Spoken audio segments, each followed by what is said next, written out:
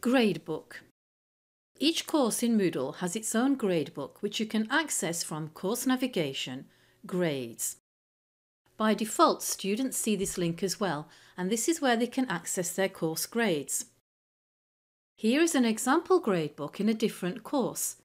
The first screen is the grader report, where you can see the students you have and graded activities.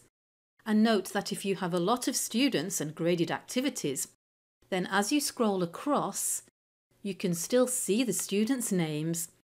And as you scroll down and back up, you can still see the titles of the graded activities. From the drop-down, Grade History will allow you to see the different grades and when they were modified and by whom. The single view, or the pencil icon by the student's name, takes you to the single view, which allows you to focus on one particular student or one particular grade item. The user report takes you to the individual grades of one student, and this is what a student sees when they click the grades link in course navigation. In Setup, you can add new grade items or edit existing ones and decide on course grade settings or your preferences.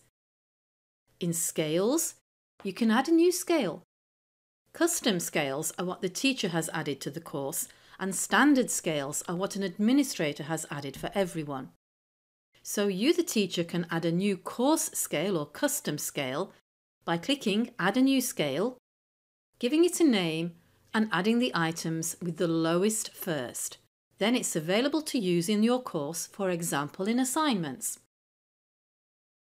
You can also import grades that you have offline as easily as pasting from a spreadsheet and you can export them as different formats if you want to print them off, for instance.